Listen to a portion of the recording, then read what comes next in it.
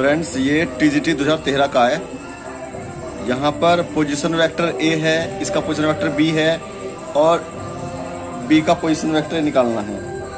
तो यहाँ पर position vector of A position vector of B क्या होगा? O A minus O B A minus B इसका फोर ऑप्शन आएगा।